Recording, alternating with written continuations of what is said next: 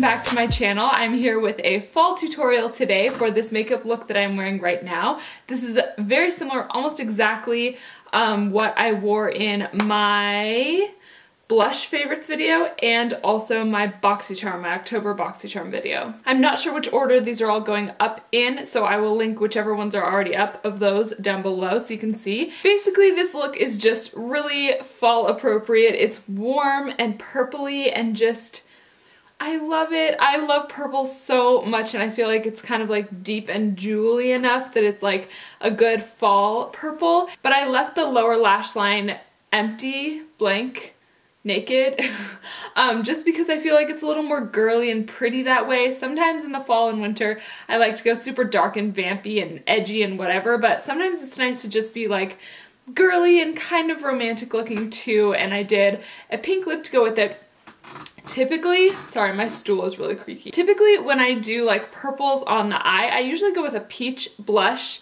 slash lip situation. But for whatever reason, I was really feeling the pink today, so I did pair it with a subtle pink blush and a nice kind of pink nude understated lip situation. So it's very, very easy. I also did some false lashes.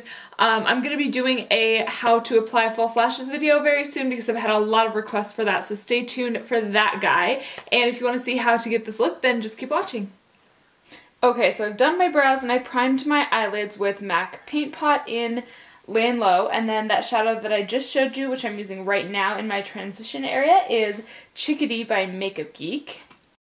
Next, I'm going to lay down kind of like a smoky base with this liner slash shade pencil situation from Lord and Berry. This was in October's BoxyCharm, and I'm going to smudge that out really quickly before it sets up just with this little smudger brush, just to give a nice intensity to the shadows that I'm going to put over top of this.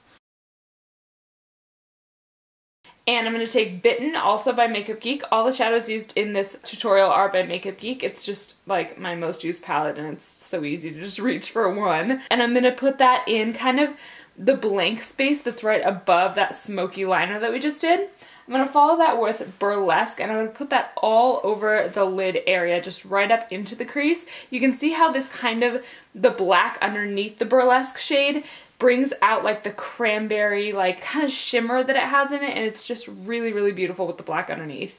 Then I'm going to take Glamorous and I'm going to use that just to highlight underneath my eyebrow and in my inner corner really quickly, nothing too crazy.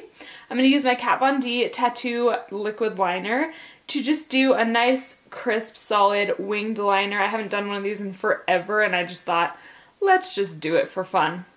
I'm also using the mascara that came in our BoxyCharm this month and I actually really like this mascara. It's amazing. Um, I will list all the details for it down below and everything, but it does a really good job of like really making your lashes pop. The bronzer I'm using here is by Girlactik.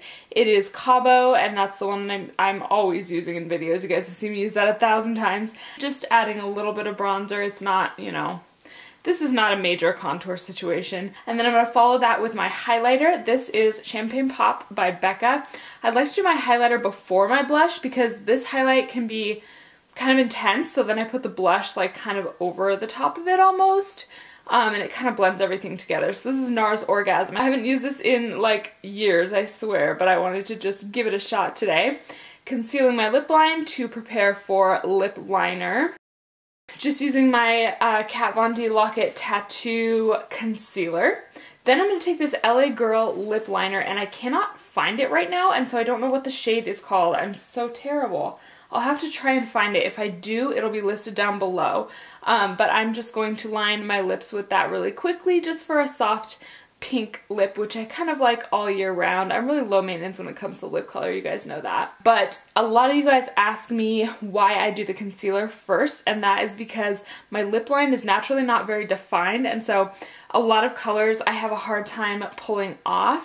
Then for a lip color, I'm going to follow up with Bite Beauty's Fig. I love, love, love this lip color. It's beautiful. Really, really easy to wear. So that is it for this fall makeup look. I hope you guys enjoyed it.